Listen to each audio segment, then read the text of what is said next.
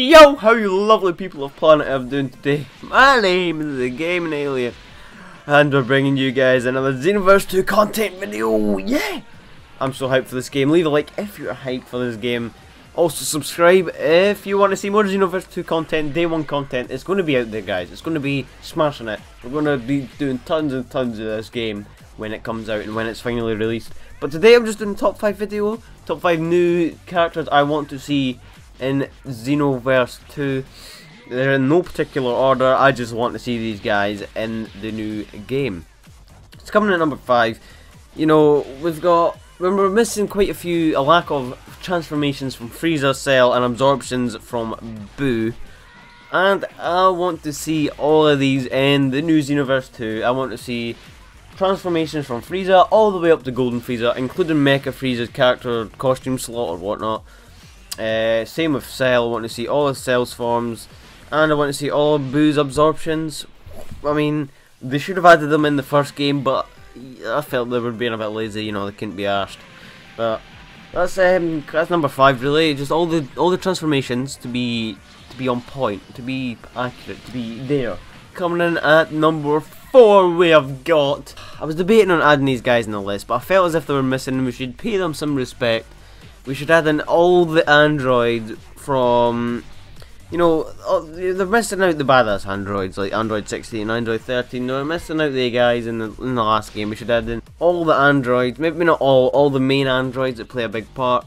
That would be a lot better than just Android 17 and Android 18 because I felt they were missing in the last game. I'm not sure why I don't usually play as them, but they were just they were like a piece of a jigsaw puzzle puzzle a piece of a jigsaw puzzle missing. I just I just felt that they, they weren't there for me. And they should have been. That's number four. Come number three, we have got the main man himself, Dabura. Yes, he should 100% be in the next game. I would love if he is in the next game. I mean, he should have been in the first one again, I guess, but hey, who's complaining? This is what I'm expecting. I'm expecting a Battle of the character roster size. This like similar size, but not all the forms. If you get me, not the forms like laid out in like first, second, third, fourth. Not them to take up individual character slots, but to do the the costume selecting that Xenoverse One done. You know where you press R1, L uh, L1 to change costumes or versions of your character. I expect that. Coming in at number two, we have got Ah, now if Dabura's wants to be in this game, then I've feel as if Janemba should be in this game. You know, he was missing in the first one, and he should be definitely 100% in this one because it's such a high demand of him. You know, a lot of people do want this guy. But that's that's number two. Number one was a tough decision. It was between Gogeta, uh, Super Saiyan, or Majin Vegeta, and I went with Majin Vegeta because he was definitely missing and plays a huge part in the Dragon Ball Z story, as all you guys know, and he was just not there.